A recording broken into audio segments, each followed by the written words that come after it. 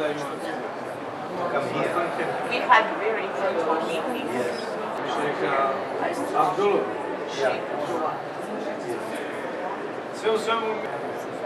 All in all, our relations are developing in a very good way.